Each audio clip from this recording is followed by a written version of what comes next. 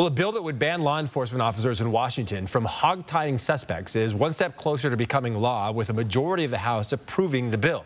One state representative calling it dehumanizing and dangerous because of its risk of suffocation. In March of 2020, three Tacoma police officers cuffed Manny Ellis's hands and feet together.